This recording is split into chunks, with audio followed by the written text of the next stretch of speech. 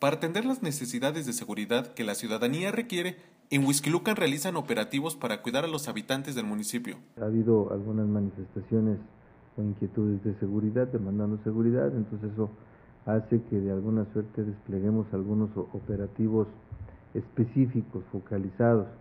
Tenemos una estrecha coordinación con las corporaciones policiales y de las Fuerzas Armadas, desde luego el Ejército, la Marina, la Policía Federal, la Policía Estatal, la Procuraduría, nosotros desde luego.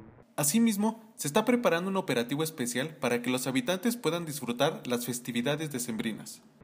Estamos preparando desde luego el operativo del mes de diciembre, sí, y que tiene que ver también con, no solo con las ventas, sino también con el periodo vacacional. Sí, lo daremos a conocer en su momento una vez que lo tengamos detallado y debidamente consensado con las corporaciones policiales. Con imagen de Rafael Fuente, Emanuel Gallardo, Antena 125.